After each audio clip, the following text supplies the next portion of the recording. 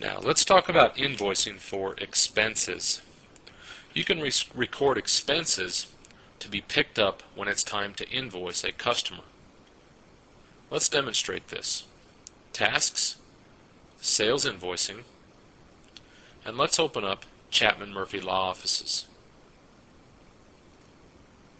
Come down here to the Apply Tickets Reimbursable Expenses choice and click.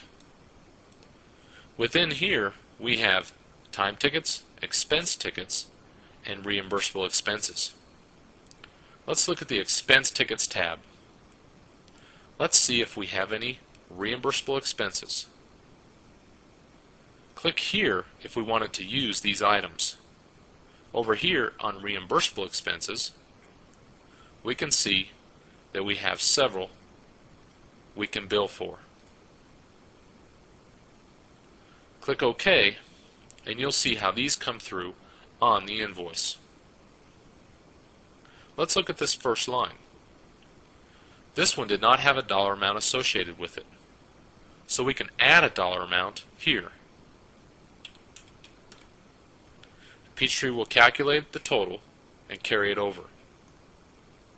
Now we're ready to print this invoice.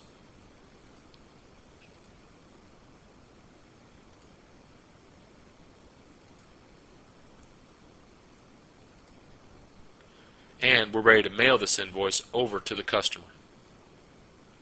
Now, recording expenses and reimbursable expenses is covered in a separate video in the payroll section. So refer to that video to see how to record these expenses into the system.